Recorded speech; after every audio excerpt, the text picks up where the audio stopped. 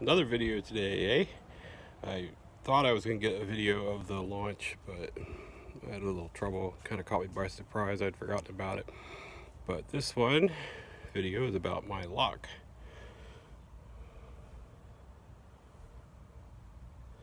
It uh, just would not allow the key to go in far enough. And uh, so I took it apart today. It took me a little while to figure out how. This is the housing here. Oh, something's coming out. Oh, the tab. Um, this is the, the lever that blocks it. This stopped working. I shot some lubrication in there and did all kinds of stuff. I took it off and rapped it with a plastic mallet and it's just that key just wouldn't go in just just that one last bit to get in there. So I took this off and it's like how do I get that out of there? Well there's a C-clamp that holds the cylinder and you gotta uh, for me I couldn't hook the edge in there. So I turned it around and then pushed on the two sides of the clip until it pushed free and out came the cylinder. This little thing here.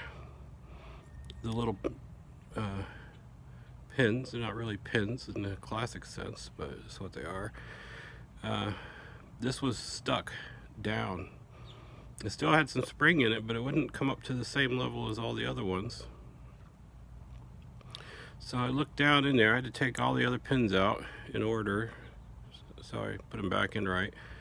Otherwise it's going to be a tedious, painful trial and error. There's little springs down there. You see a little circle right there.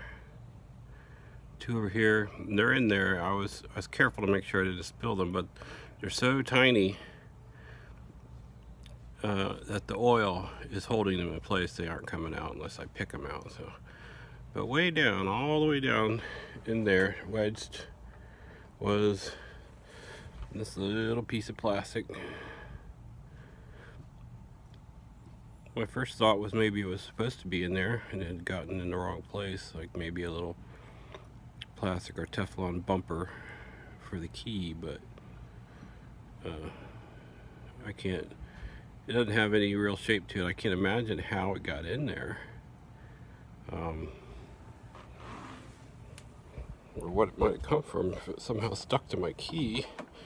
I guess at some point it gets horizontal that something could fall in, but hmm, don't know. But I picked this out with a little pick. Uh, it's always good to have a, a set of, uh, it's about anywhere it sells toothbrushes. You can get a pick set. I just picked it out with this and that did it. Key slides all the way in now and now I put it back together and have me a working lock. So there it is. If I couldn't get it working I was going to take the cylinder out and swap it for one of the little side bags. They have a different size. I couldn't do the whole lock. I'd have to take the cylinder out of each and swap the cylinders because the locks are different lengths. But uh, yeah that's all it was that little thing.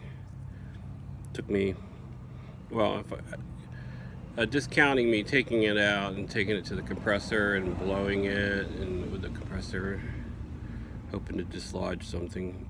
Now if I had rapped it on the right angle while hitting it with the air I might have blasted that out. I don't know but I gave up on rapping and blowing and just went to taking it apart and here it is.